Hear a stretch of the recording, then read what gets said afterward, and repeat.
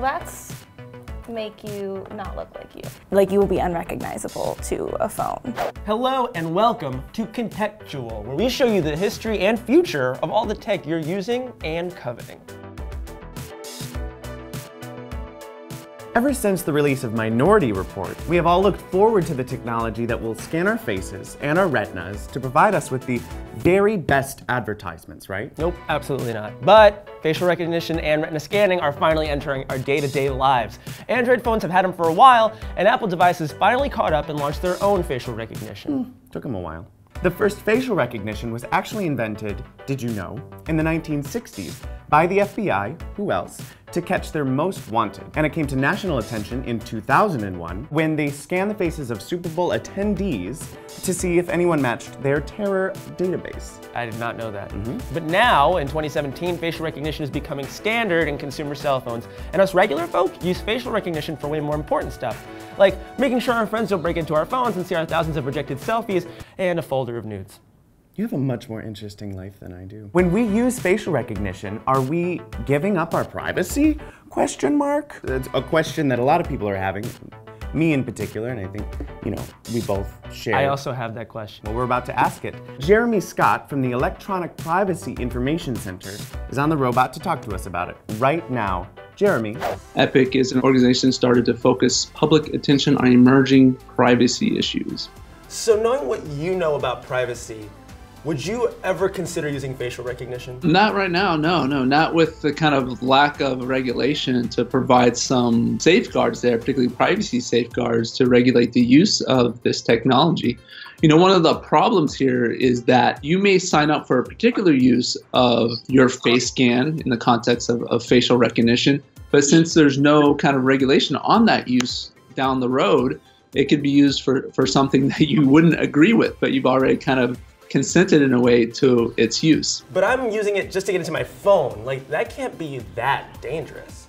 You can see that implementation easily growing to a point where it would be hard to leave your home and not have facial recognition being acted upon you at all times. And all of a sudden, you have a mass surveillance system. So, what you're saying is that essentially, because I live in the modern world, I've already given my face data away. Most people don't realize that the majority of adults in this country are probably in some type of government facial recognition database because of the FBI's use of facial recognition and their agreements with uh, DMVs across various states.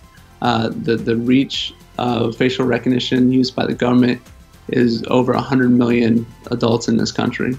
So I'm horrified, but I still really hate putting my pin in. So is it possible to fool facial recognition with makeup so we can use it for now, but trick it in the future? We brought in a makeup artist to see if she can hide Dane's face enough to trick facial recognition.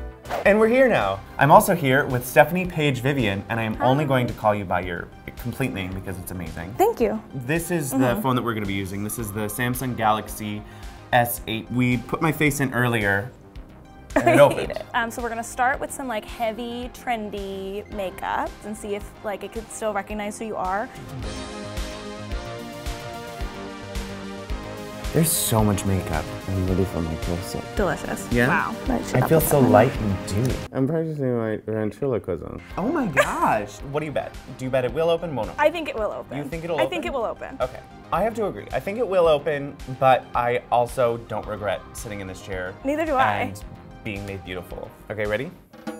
The screen is black. Wait, really? What? No, that can't be. Really? Face not recognized. Oh Does my it really god, work? it's not working.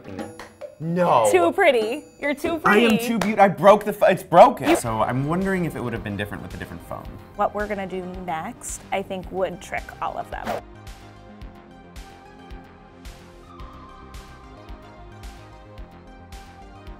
This is where light hits him the most. So I blacked that out. So it's now void. It's a complete matte black. It's a look. Oh, I like that. Uh, nope, no match. I really do think that this is a good thing. Yeah. You know, so we've, we my face. It didn't let me in, you yeah. know, which is inconvenient, but it's also, for security purposes, really is great. good. Hey, Steph. Hi. How are you? Nice to Good. see you here. How are you working on a, who's this? I'm Andrew. I work here at Nowthis. Um, I'm doing a show uh, with my coworkers. I don't know if you met him. His name is Dame. We tricked him too. I guess Yeah. facial recognition is actually Like, smarter legit. than you. Dan, I guess I'm just sorry about the whole chainsaw thing. That was a real misstep in my part. Eh, forgive and forget. Thank you. By the way, you're not allowed within 100 feet of me. That's totally fair. Join us next time when we talk about drones!